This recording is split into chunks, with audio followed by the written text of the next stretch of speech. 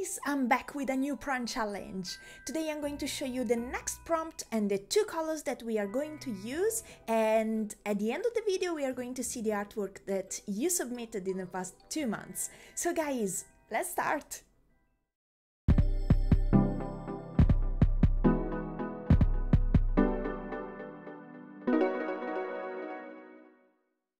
Ready for a prompt challenge? The prompt is treat and the colors are turquoise, green deep and purple.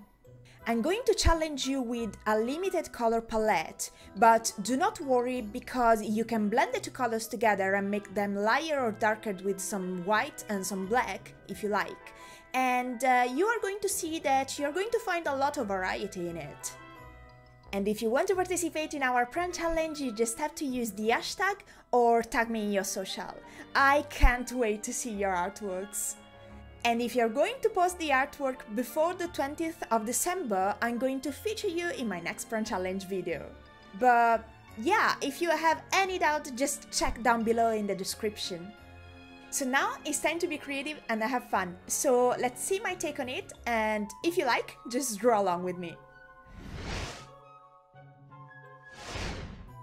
So for this illustration I wanted to create something for Halloween. And on top of that I wanted to create a character that was wearing all the sort of treats. So my first idea was to create some sort of outfit that was reminding of candies and donuts. And uh, I ended up like doing a character lying on a donut. And uh, something like uh, she she's basically uh, being submerged by candies. So this was my my sketching process, and I had to rethink a little bit what kind of outfit I wanted to do, and uh, how to push better the the perspective of this position because I wanted to have the idea and the feeling that the candies were falling on her. So a top view perspective and uh, the candies all over.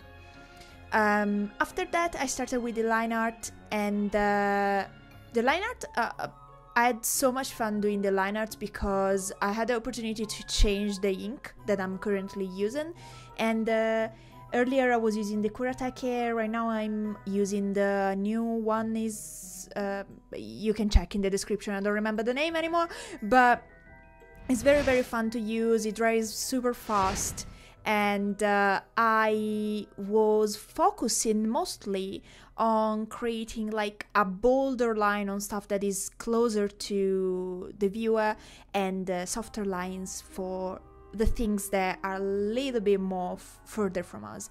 So yeah, I had to play a, um, a little bit with this and it was super fun to use and uh, yeah, it was a great experience to be fair.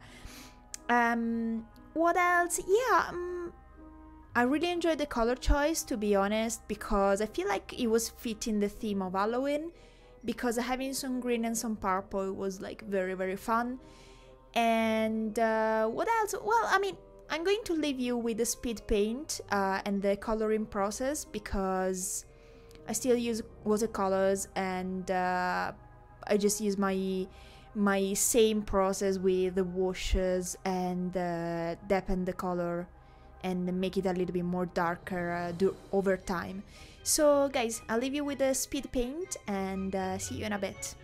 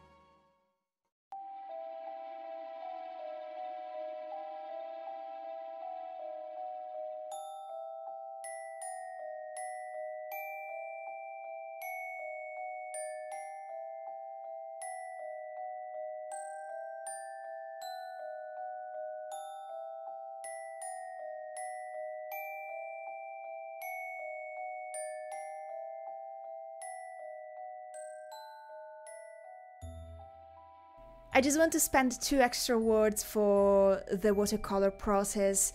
Um, I I didn't had much variety in the colors, and I wanted to my character to pop very much uh, in the in the composition. So I don't want it to be too dark.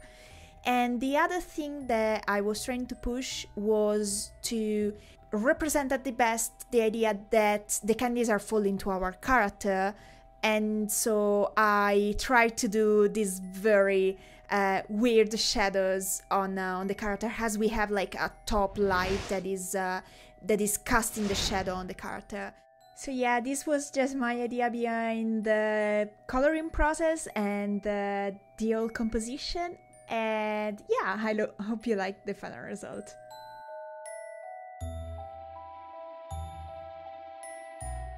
In the end, I think that these two colors were pretty similar to the Villain Pran Challenge, but I'm pretty happy with the composition and uh, I have to be honest, if I were on digital I would have fixed something, but I'm very very proud of this. So guys, what do you think? Do you like my illustration? Just drop a comment and leave a like, it would mean the world to me, thank you so much. So now let's see uh, your submission that you did the past month uh, with the prompt book and the colors Viking and Tabasco. So guys, thank you so much for staying with me. I hope to see you next time and take care. Bye